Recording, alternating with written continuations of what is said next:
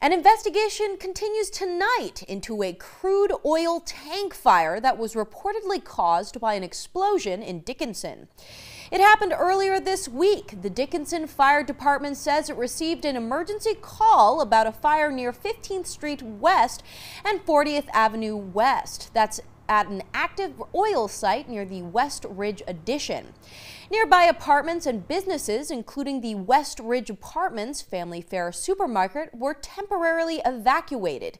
It took firefighters about three hours to put out the fire. They tell us no one was injured. Investigators say they're working to find out what triggered the explosion and the fire that resulted.